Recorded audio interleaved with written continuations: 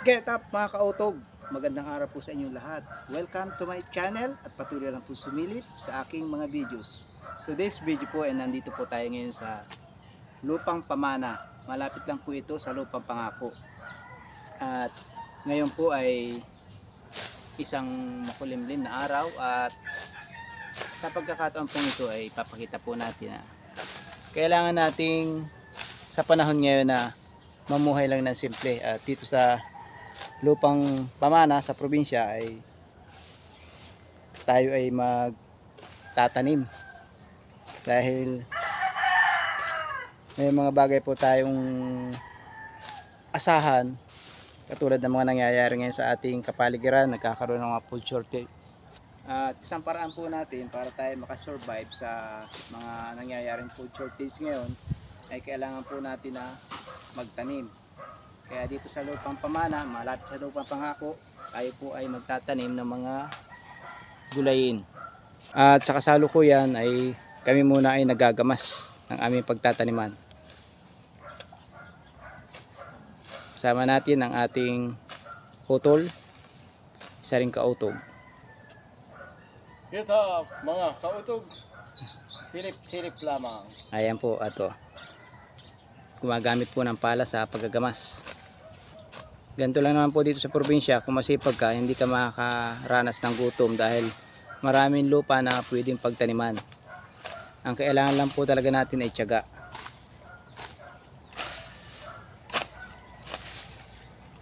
Ma mataba naman yung mga lupa dito. Dahil nakikita natin, oh. Ang ganda ng lupa, oh.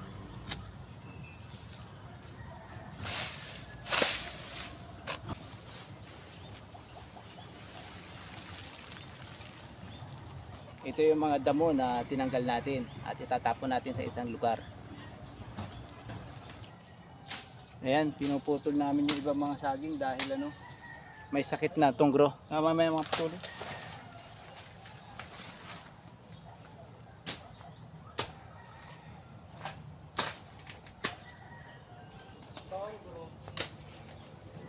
At ang isang indikasyon na may sakit yung saging ay yung dahon na naninilaw. Tulad niya no. Ayan, kung kailan malaki na, saka pa nagkasakit.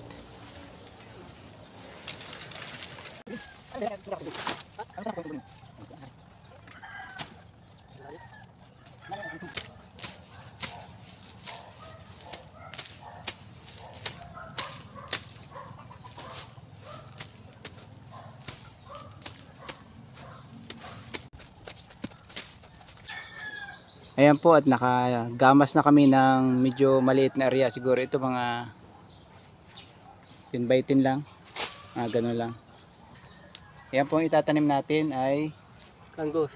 kamuting kahoy.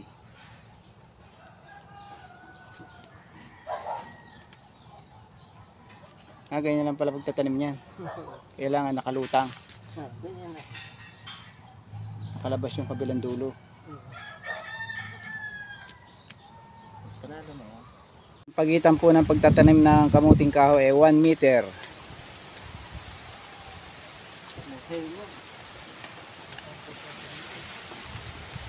Nag-uulan. Ha? Maganda. Ganda magtanim at nag Ay, umuulan po ngayon dito sa amin.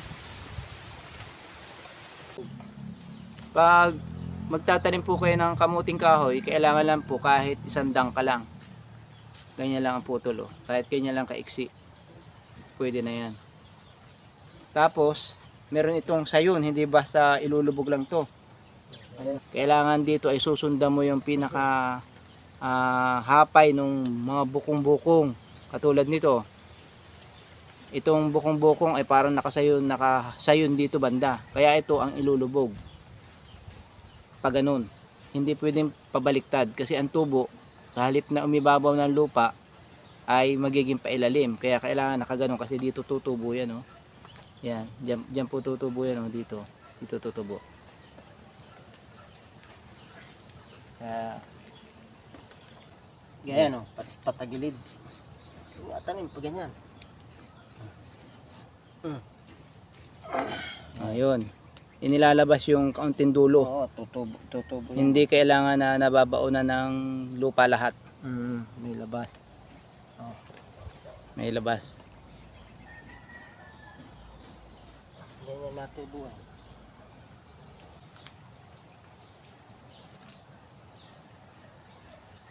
Ito naman, kamuting bagin. Kulay pula po ito, kaya ito masarap itong gulay ito sakaling tumubo na. Itatanim lang din to at ilulubog lamang itong dulo. Ayan at pagkatapos naman po ng kamuting kahoy na naitanim na po natin lahat, ito naman at ang kamuting bagin naman. Mas madali po magtanim ng kamuting bagin.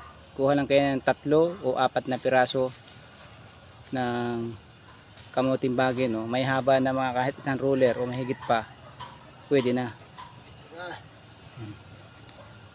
pagitan lang din halos isang metro lang din ang pagitan Malaman ito. Double purpose po yan. Pwede po nating gulayan. Pwedeng kainin yung laman. After 6 months 7 months meron na pong laman yan. At yun naman kamuting kahoy. After 1 year ang lalaki na ng laman nun. Maigi na yung may itinanim tayo at meron tayong aanihin. Ganyan lang po dito sa probinsya. Kasimple. Marami tayong mga bagay na magagawa dito na hindi natin nagagawa sa Manila. Saka yung lupa dito sa amin ay mataba. Mataba. Ah, sustansya.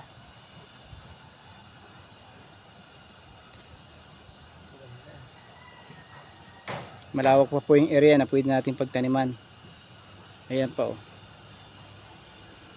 Puro damo nga lang kasi ang nag-aasikaso lang nito si Otol eh. Ang pa yan. Videohan mo. Ganda oh. Pansamantala ito ito'y tinaniman muna ng mga puno ng saging. Kasi yung puno ng saging kahit pabayaan mo lang magbubunga yan.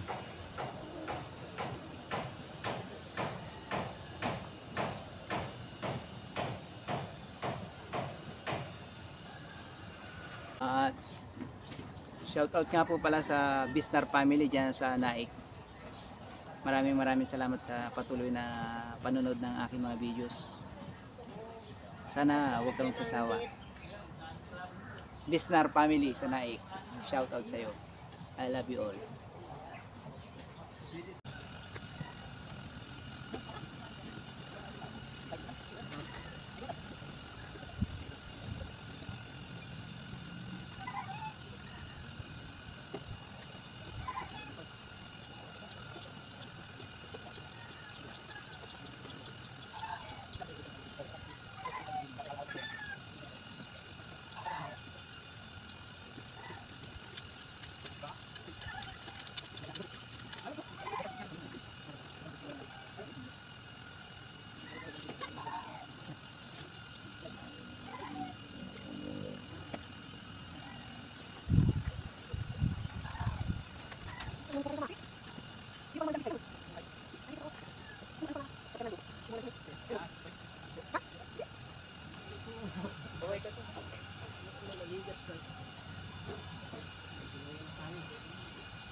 Ayan po at makalipas lamang ng ilang oras ay naitanim na po namin lahat ni Utol yung kamuting bagin at kamuting kahoy at ilang araw lang ang hintayin natin ay tutubo na yung mga yan.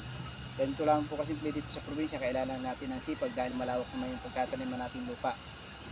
Balik po tayo sa nature kasi sa Manila masyado na po magulo dyan lalo lalo at pag naipatupad na at naging batas na yung Senate Bill 1869 kailangan na po natin bumalik sa ating nature dahil dito po ay hindi tayo basta-basta nila masasakop ng uh, this system na sinasabi kaya po muli mga kautog maraming maraming pong salamat sa panonood po sa pagtatim namin dalawa ni Otol dito po sa Okay. probinsya patuloy lang po sumilip sa aming mga videos I Get love you up. all mga kautog Get up.